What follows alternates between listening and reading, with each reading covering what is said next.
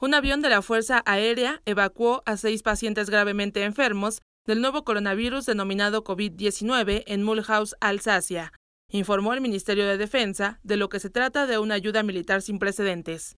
Los pacientes aterrizaron en Istres y serán llevados al Hospital Laverán, donde se encuentra la Dirección de Hospitales de Entrenamiento del Ejército. El avión utilizado estaba reservado para zonas de conflicto hasta el día de hoy. El objetivo de la misión es aliviar los hospitales que se encuentran saturados en Alsacia.